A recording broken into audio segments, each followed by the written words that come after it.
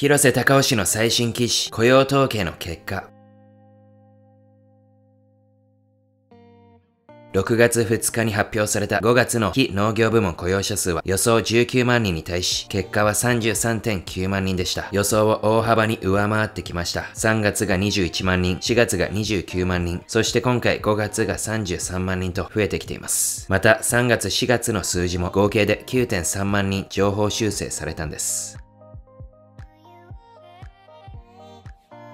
5月の失業率は予想3.5%に対し、結果は3.7%でした。今回失業率が上昇したことはややサプライズだったということです。平均時給はプラス11セント。これは4月のプラス13セントから少し伸びが減りました。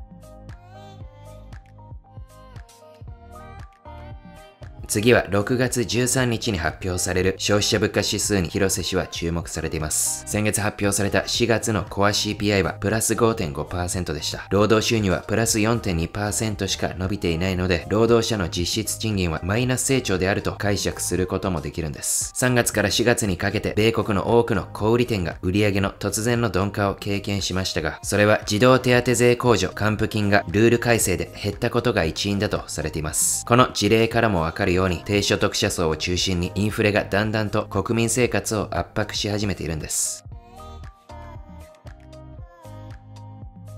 FRB は次の6月14日の FOMC では利上げを見送ると見られています。今回の雇用統計の結果もそのシナリオには影響を与えないと思われます。しかし、6月14日の利上げ見送りはこれで利上げサイクルが完了したという風に決めつけることはできないんです。なぜなら一部 FRB メンバーは今回の利上げ見送りは単なるスキップに過ぎない。従ってその次のミーティングではさらに利上げもあり得ると語っているから。もし FRB が今後も1回おきの FOMC でじわじわ利上げを繰り返すのなら、それは長期金利が上昇する要因だと思います。それから連邦債務上限引き上げに関して議会の合意が成立したわけですが、そのことはしばらく見合わせられていた国債発行が再開されることを意味し、これは財務省証券の需給関係にとっては悪い材料、すなわち長期金利上昇要因に他ならないんです。長期金利と株価というのはシーソーの関係にあります。長期金利が上昇すれば、それはもちろん株式にとってとっては苦しい環境になるということなんです。